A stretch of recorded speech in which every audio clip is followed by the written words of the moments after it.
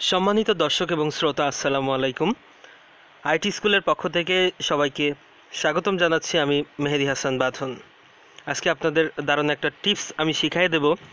সেটা হচ্ছে আপনাদের যাদের অ্যান্ড্রয়েড মোবাইল আছে, অনেকের হয়তো অ্যান্ড্রয়েডে এমন একটা সমস্যা আছে যেটার জন্য আপনার নিচের তিনটা বাটন, এই যে ব্যাক বাটন অথবা হোম বাটন বা রিসেন্ট বার এই বাটন কাজ করে না মানে টাচে কাজ করে না। তখন আপনারা কি করবেন?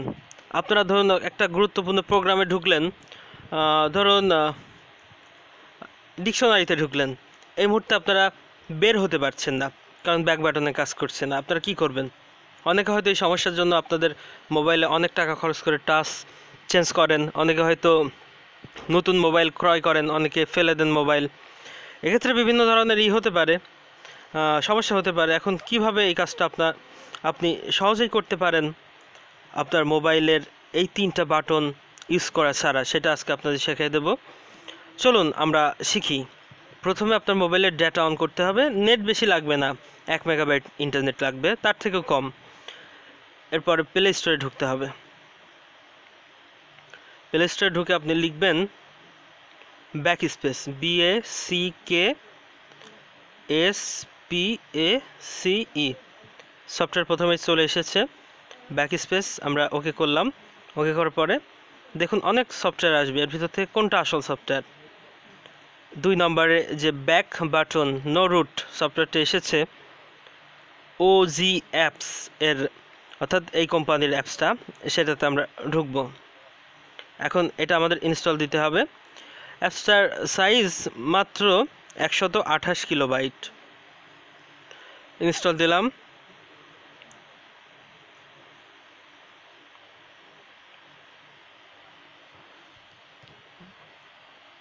অ্যাপসটা ইনস্টল নিয়ে নিয়েছে। এখন এখান থেকে আমি অ্যাপসটা ওপেন করলাম।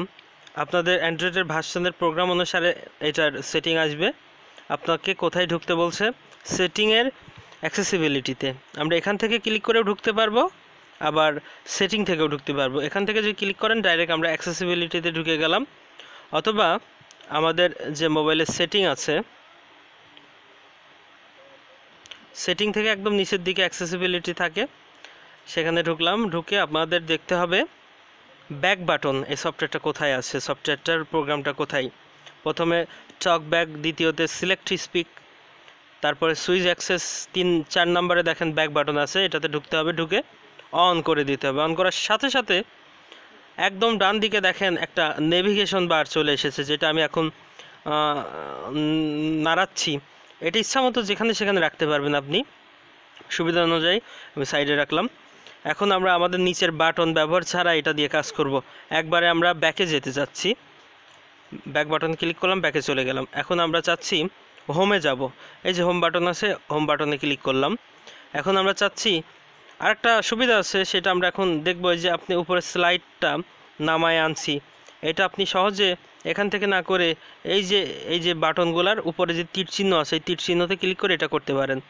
তীর চিহ্নতে ক্লিক করলাম, এটা দেখেন নেমে আসলো। যাই হোক এখন আমাদের রিসেন্ট অ্যাপ যেগুলো ব্যবহার করেছি সেগুলো দেখব কীভাবে এর মাধ্যমে। একদম নিচে যে বাটনটা আছে নেভিগেশন বারে আমাদের যে অ্যাপসটা নামালাম সেটাতে ক্লিক করলাম। ক্লিক করার সাথে সাথে আমাদের রিসেন্ট অ্যাপগুলা দেখেন, এখান থেকে চাইলে ক্লিন করে দিতে পারেন। এখন আমরা আবার হোমে যাব, এখান থেকে হোমে চলে গেলাম। অ্যাপসটি আপনি সহজেই ব্যবহার করতে পারেন। যদি আপনার অ্যাপসটি ভালো না লাগে, যে ভালো লাগছে না সেক্ষেত্রে প্লে স্টোর থেকে অন্যান্য অ্যাপসগুলো ডাউনলোড করে নিতে পারেন। আমার দেখা অ্যাপসগুলোর মধ্যে এটাই সবথেকে বেস্ট যাই হোক, আমাদের এই ভিডিওটি যদি আপনার ভালো লাগে, তাহলে অবশ্যই লাইক করবেন, মতামত জানাবেন কমেন্টে আর কোন ধরনের ভিডিও পেতে চান, সেটা অবশ্যই জানাবেন, আর ভিডিওটি আপনার বন্ধুদের শেয়ার করবেন। আর আমাদের আইচি স্কুল এই চ্যানেলটিতে অবশ্যই সাবস্ক্রাইব করবেন। ধন্যবাদ সবাইকে, পরের ভিডিওতে কথা হবে।